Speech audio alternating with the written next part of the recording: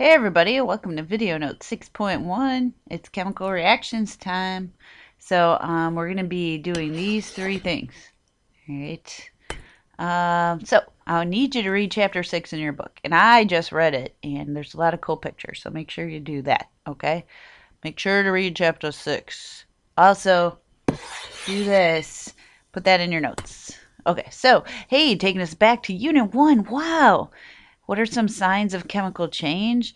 Well, um, if you get an unexpected color change, like, whoa, that turned yellow. Also, that's a precipitate. Um, you get some gas, woo, and you get some odor, woo.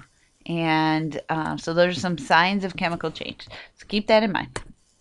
So what is a chemical equation? It's a chemical sentence that uses symbols to represent a chemical reaction. So look at all that sugar down there. What happens to sugar? Well, it um, gets made, not what happens to it. Sugar gets made in photosynthesis. All right, so this is a chemical reaction that symbolizes what goes on in photosynthesis. You got some carbon dioxide and some water, and plants make their own sugar and give off oxygen. Okay, this is representing that. So, okay. So, in a chemical reaction, you got reactants and you got products. So, reactants are substances that are used up in the reaction. They're the starting material. All right, they're what you put in. Products are substances that are made in the reaction, and I like to remember that the arrow points to products. Uh, so, hey, what are the reactants in this reaction? Label them. Hopefully, put this example, but these are reactants. And these are products. What's cool about it is they have names, okay?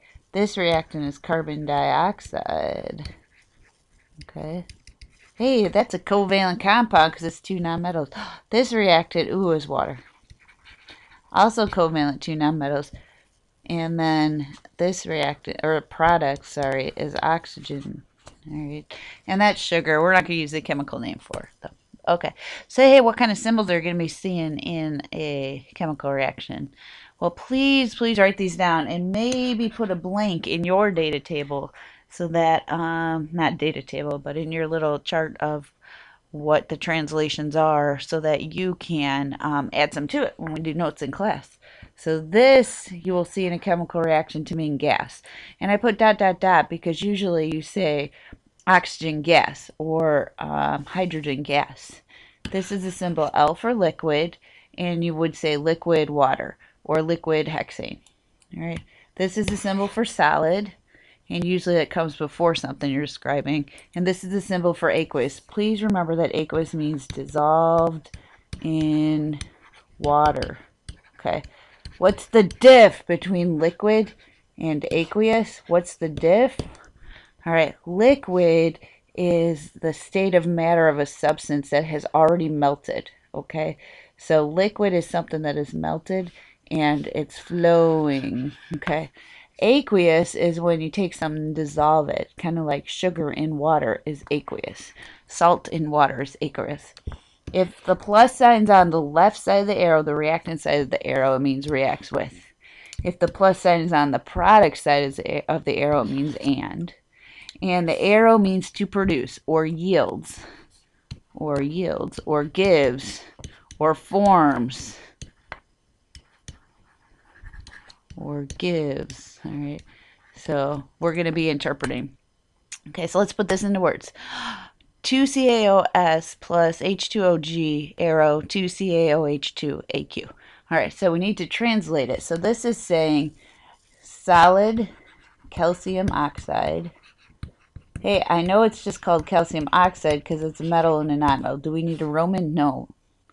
Reacts with, that's the plus sign, hydrogen gas. Hydrogen gas. All right, notice the word gas came after hydrogen. To produce, the arrow, to produce um, aqueous calcium oxide. So see all that time we spent, I'm sorry, I said oxide, but hey, guess what? It's hydroxide. Hydroxide. Okay, notice that um, the word aqueous came before, solid comes before, gas usually comes after. Try it again. Oh, look, it's solid copper oxide. Wait a second. Copper's a Roman. Now, how do I know it's a Roman numeral 2? Because oxide's a negative 1. Hey, what does the plus mean? Please say reacts with. Please say reacts with. Reacts with liquid water. Now, we can call water water when it's liquid. We call it ice when it's solid. To produce. Where did I get the to produce? To produce. Arrow. Aqueous. Copper hydroxide. Why do I just call it copper hydroxide? Because it's ionic. And but then copper's Roman. And since this is two OHs, then copper must have been a plus two. So I have to put a Roman numeral two. All right. Hey, we just translated. Hey, we know another language. Woohoo. All right. Hey, what if we have the words? Hydrogen gas. Hmm. Hydrogen gas reacts with like we could translate above. Oxygen gas. Hey, what am I doing with those? I'm putting twos, and I'll tell you why in a second. To produce arrow water. Okay, when we say water, we got to go L for liquid. Okay. Now, you are probably noticing that something's missing here. Alright, so how can we have two H's on this side, two H's, two O's on that side, but only one O on that side? Something's missing. We lost an O. We'll take care of it in a second um, after we practice this one. Solid magnesium. Mg is magnesium. Solid. Reacts with plus oxygen gas again. Well, to produce arrow solid magnesium oxide. Okay, so Mg is a plus 2. Oxide's negative 2. MgO. So all that formula right in practice we've been doing, we have to keep doing it correctly. All right, and so then um, I'm going to put a 2 there and a 2 there. That's called balancing, but I never balance until after I have the correct formulas. All right. Hey, what's this balancing stuff? Well, I'm playing a little song for you that you might notice. We're going to talk about a law. We already talked about it, but law of conservation of matter. Hello, John Dalton. You use this, you use this law, and you taught us John Dalton, And he really taught us. So that was, oh, name that tune, name that, uh, that band. That'd be fun. But the law always wins. What's the law? Law of conservation of matter. So you can't create or destroy a matter. So the reactants is going to equal the mass of the products. Why? Because if you have an atom on the left, it can rearrange and form a new bond, but you better be able to find it on the other side. So it's the law of conservation of mass. So it's like balancing a seesaw. Look, these two atoms are on the left side. You better be able to find them. Now, of course, they're um, the Mickey Mouse ears on a new molecule. One purple on this side, one purple on that side. You better be able to find them because they can't be created or destroyed. They're just rearranging. You better be able to find them. Here's C3H8. One, two, three. That's three C's. One, two, three, four, five, six, seven, eight. H's. They're bonded together to make this whole thing. All right. This is five O2s. One, two, three, four, five. All right. So how many O's? Ten O's total on that side. So let's count them. One, two, three, four, five, six, seven, eight, nine, ten. Ten O's total on this side. The O's are balanced. The H's on this side, there's eight of them. There's eight of them on this side as well. Eight H's you better be able to find them. Every atom, both sides. So, the left side of the equation, the arrow lists reactants. Reactants, Fe and S. The right side of the arrow has the products. And then we have an Fe and an S. One over here, one over here, one over there, one over there. They're all there. Okay, so that's balance. So if you see a subscript, it's telling you how many of that atom are in that particular compound or molecule. All right. So there's two C's and six H's. So let's find the C's. Oh, look, two C's. One, two, three, four, five, six H's. But this is one whole thing. It's a compound. It's um called ethane. Okay. You have to be able to count them even if you can't see them by using subscripts. Okay, so hey, let's practice. Hey, it's carbon dioxide. How do I know? Because it's two nonmetals, so you name it by using the prefixes. All right, how many carbon atoms? Just one. How many oxygen atoms? Two. Look, it's an ionic compound, ammonium carbonate. All right, how do you know? Because it's ionic, you name it. First thing, second thing. Okay, how many nitrogen atoms? This two goes for everything inside. All right, so there are two N's. That two goes for everything inside. Oh, now it asks about oxygen. Oh, wait, some who put that?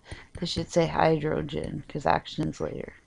All right, so how many hydrogen atoms? 2 times 4 is 8 hydrogen atoms. How many carbons? 1. How many oxygens? 3. Okay, so NH4 is in this compound two times to cancel out the charge on carbonate. So that means there's four, eight hydrogens, two nitrogens, one carbon, three oxygens. Okay. Oh, look at this. It's my favorite potassium permanganate. How many potassiums? One. How many manganese? One. How many oxygens? Four. Okay. So if you have the chemical formula of a substance, the subscripts tell you how many things are in there. Okay. Now, in a balanced equation, there's things called coefficients, and they're multipliers. They're put in front of compounds that tell you how many times that whole thing is there. Okay. It could be in front of a, an element, too. So, all right. Now, there's no number here. But if this is here and there's no number in front, you know it's there at least one time. You do not have to write in ones, but you have to know they're there. Okay, so let's try to do this with um, coefficients. Now, carbon dioxide has one carbon and two oxygen, but two carbon dioxides means this, two of them. So we actually have two carbons and multiplied, we have four oxygens. All right, here we go. This one's a little tougher. What does three of these mean? Well, you can write it out if you need to to get you started. But three NH4CO3s means three ammonium carbonates. One, two, three. So how many N's? Well, two, four, six. All right, six N's. So two times three is six. All right. One of these has eight hydrogens, but there's one, two, three of them. So we're at 20. Mm, sorry, hydrogen who does that? 24 hydrogens. All right. So 8, 8, and 8 is 24. How many carbons? 3. And how many oxygens? 3, 6, 9. There's a train again. All right. 6 KMNO4s. Right. We're going to hear another train whistle. Looks they got a blue three times. 6 Ks. 6 MNs. There we go. 24 oxygen. All right. So let's balance these. Now, when you're looking at things to count how many, you're taking an inventory of what you have. So let's count. We have two H's over here, two H's over there. That's balanced. That's done because the arrow is the equal sign. All right. We have two O's on this side, but only one O on that side. So how can we change that? Well, we have the correct formula, so we can't change those. So we need to use coefficients or multipliers. Now, if two oxygen on this side, I want two, so I put a two there. But that two goes for everything behind it. So now I have four H's and two O's. So O's are good, but now I need two there to have, and then we can take inventory. Four H's, four H's, two O's, two O's. They're equal. Okay. All right. N2, N1. So you can do this if you want. List the atoms. Two N's, one N right now. Two H's on the left, three H's on the right. That's not balanced. So what do we do? Put in coefficients.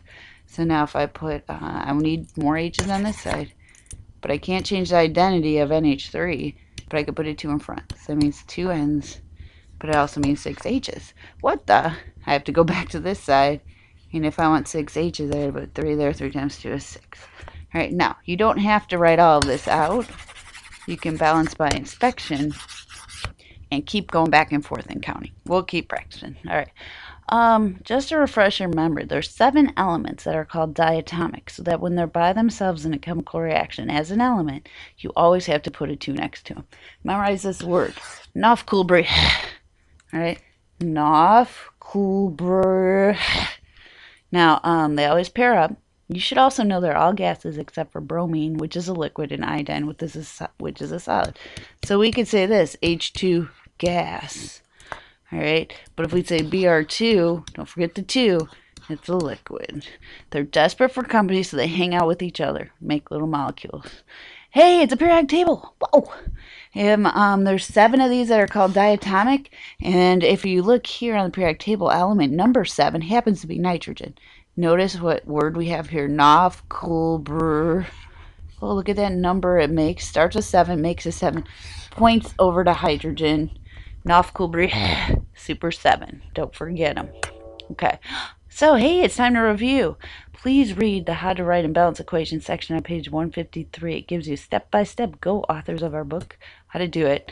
Just also review the numbers in front are multipliers called coefficients, and the numbers behind are subscripts, okay?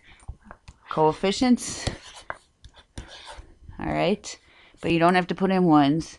Subscripts help us identify their their identity identity of the substance. And then behind we would put um, parentheses tell us the state of matter O2 is a gas hydrogen's a gas.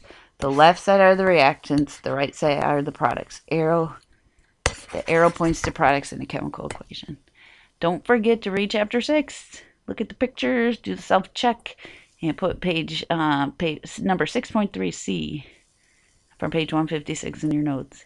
We can do it now, all right? So to take you out, don't try to fight the law, because it'll win. Just make sure to balance your equations.